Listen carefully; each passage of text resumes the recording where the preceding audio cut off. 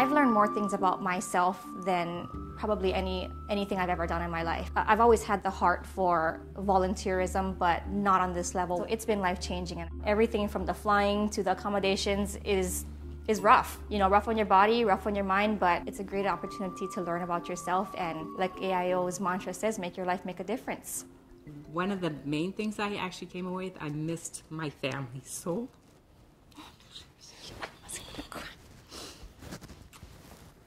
And I don't even have a big family. I miss my family so much.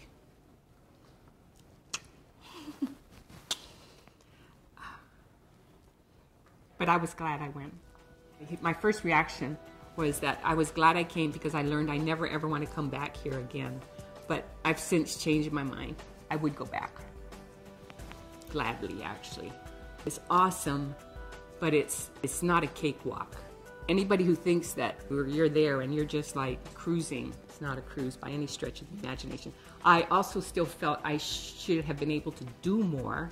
I thought we would go, we would see things, we would help people, and in actuality, what we got in return was that they actually taught me more than I could even, That's you know, true. Consider. So the, the work that we did there. I mean, we came back with a lot more. My experience was very different from Margie's. I was literally thinking in my head, am I gonna call my mom and Bobby and tell them I'm not coming back? I'm not coming back on the scheduled time, I'm gonna stay longer it was everything about this experience, and it's been explained to us a number of times that AIO Discovery, a portion of it is about helping villagers and helping people less fortunate than us but more so it's about the company investing in individuals, allowing us to have a global view of things that we would never experience here. And then the hope is that we come back and impact our community. This discovery part of the program has awakened something inside of me that I didn't even know existed. I'm in the process of actually looking for nonprofits that will host me to go back to Dire Dawa and do long-term field work. And for me to say that, I mean, I'm a local girl.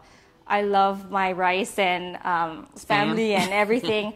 um, but yeah, I'm thinking of saying goodbye for a while.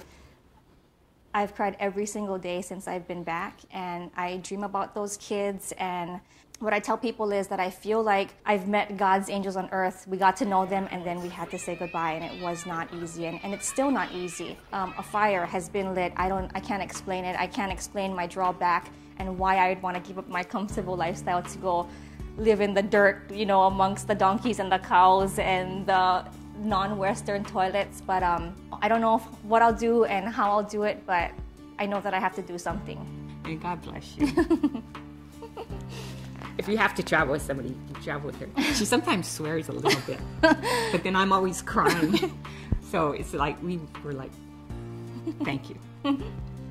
It, I think, here we go, here she goes again.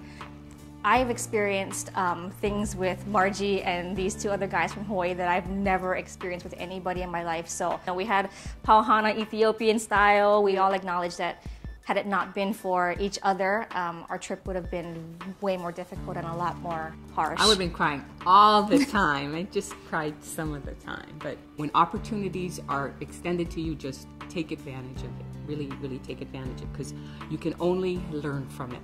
Sometimes you're learning something you don't want to know about, or sometimes it's life changing, or sometimes it's just an opportunity.